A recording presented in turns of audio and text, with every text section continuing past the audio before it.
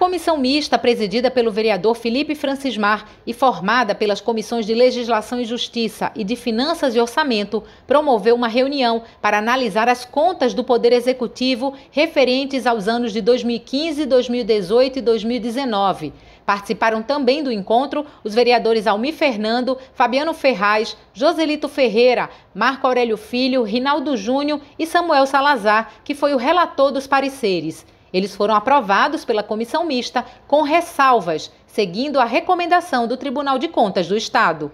Parecer prévio emitido pelo Tribunal de Contas sobre as contas executivas trata de parecer técnico sobre a movimentação ocorrida nas contas globais do município, para que o Poder Executivo exerça, na plenitude, o controle externo com o julgamento político de tais contas, uma vez que se trata de atos do Poder Executivo conforme a melhor doutrina constitucional. Tendo a segurança da idoneidade, imparcialidade e competência do Tribunal de Contas do Estado de Pernambuco, resta demonstrado, portanto, que houve a observância por parte da administração na maioria dos temas essenciais para a prolação do juízo de valor final e global do referido processo.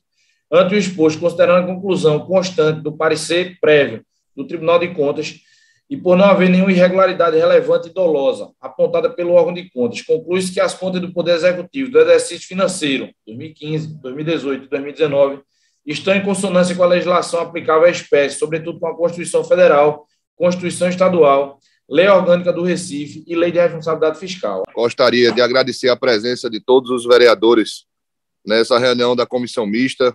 Essa é uma oportunidade única de Vossas Excelências estarem numa situação como essa, né, durante o, o mandato, mas o regimento interno nos permite essa oportunidade.